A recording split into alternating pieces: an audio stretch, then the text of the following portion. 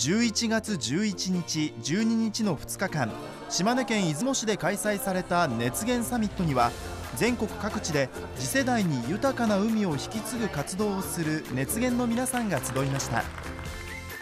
はじめに日本財団の雲野光之常務理事が皆さんの個性と強みを存分に出してここでの交流で大きな活動につなげていただけるよう積極的にサミットを活用してほしいと挨拶しました。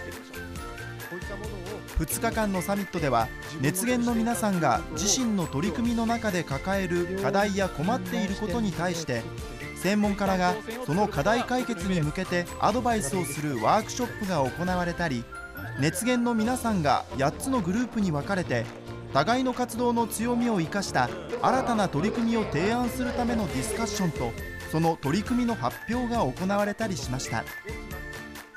また未来の熱源と期待される海のキッズサポーターの子どもたちからも海洋プラスチックごみを減らすことや海の環境問題の解決に向けて一人一人にできることがあることが提言されました。